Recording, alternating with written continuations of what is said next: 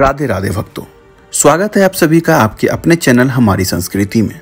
आशा करते हैं कि आप लोग अच्छे होंगे और स्वस्थ होंगे। तो आज की इस वीडियो में हम जानने वाले हैं कि अभी यानी कि आज की अगर बात करते हैं तो आज जो महाशिव पुराण कथा खत्म हुई है, यानी समाप्त हुई है, पंडित प्रदीप जी मिश्रा के द्वारा, जो कि हरिद्वार में सात दिनों से कंटिन्यू चल रहा था, आज उसका समाप्तन हुआ है। तो अब भक्तों के दिमाग में मतलब मन में ये सवाल हो रहा होगा कि हमारे पास कुछ कमेंट्स भी आए थे कि नेक्स्ट जो शिव पुराण की कथा होने वाली वो कहाँ है और कब से हो रही है। ठीक है तो आज की कथा में पंडित प्रदीप जी मिश्रा ने बताया है कि अगला जो कार्यक्रम होने वाला है वो ट्वेंटी थर्ड अप्रैल को होगा, यानी कि तेईस अप्रैल को। ये कथा फिर से शुरू होने वाली है। और इस कथा का जो इस बार समय है भक्तों, वो समय थोड़ा सा चेंज हो गया है।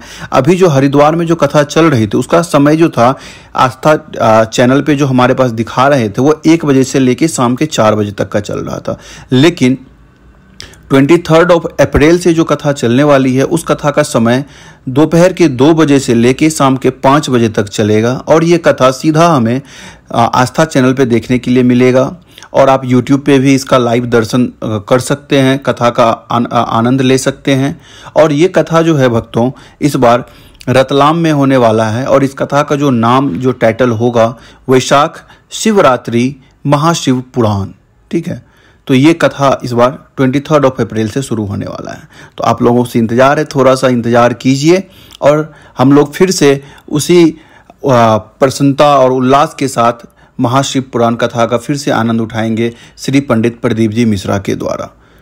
तो इस वीडियो में भक्तों यही जानकारी थी। आशा करते हैं कि आपको ये जानकारी अच्छी लगी होगी तो प्लीज़ अपने दोस्तों और फैमिली मेंबर के साथ शेयर करें। और अगर आप अभी तक हमारे चैनल को सब्सक्राइब नहीं किया है तो यही सिर्फ़ छोटी सी जानकारी और उपाय के लिए हमारे चैनल को सब्सक्राइब करना ना भूलें। मिलते हैं अगले वीडियो में, तब तक के लिए प्रणाम और राधे राधे। और कमेंट में हर हर महादेव लिखना ना भूलें।